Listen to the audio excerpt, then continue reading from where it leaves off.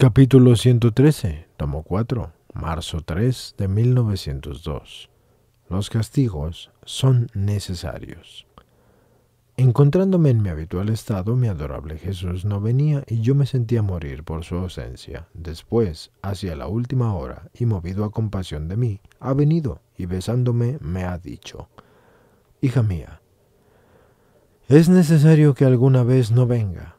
De otra manera, ¿cómo daría el desahogo a mi justicia? Y los hombres, viendo que yo no los castigo, no harían otra cosa que enorgullecerse siempre más. Por eso, son necesarias las guerras los estragos, el principio y el medio serán dolorosísimos, pero el fin será gozosísimo.